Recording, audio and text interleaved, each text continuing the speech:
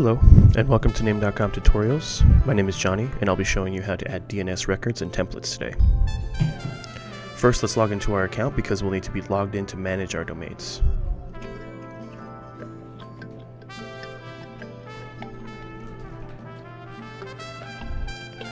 Once logged in, we'll click on My Account on the top right, then My Domains in green in the first column.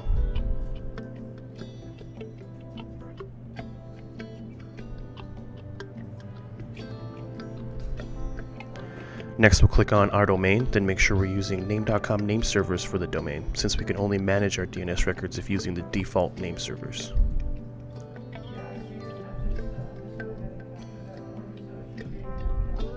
Then we'll click on DNS records on the left side.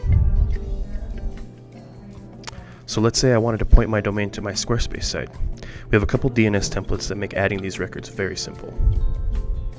Click DNS templates, and then we'll see a drop down where we can select our template. We'll select Squarespace, and the system will populate the DNS records needed to point the domain to that service.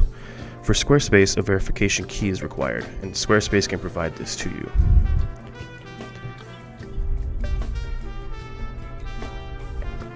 We'll then click Confirm, and then we're all set with our addition of records.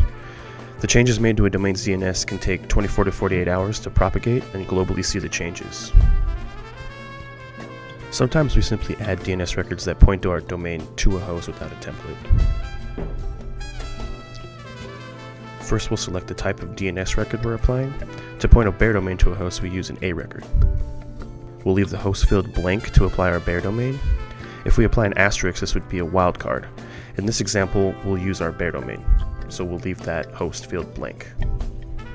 For the answer, we'll apply our host IP address, and your hosting provider will be able to provide this to you. We'll leave the TTL or time to live at 300 seconds, then we'll click Add Record. And again, these kind of additions take 24 to 48 hours to propagate globally. And that's how you point your domain to a host with DNS records.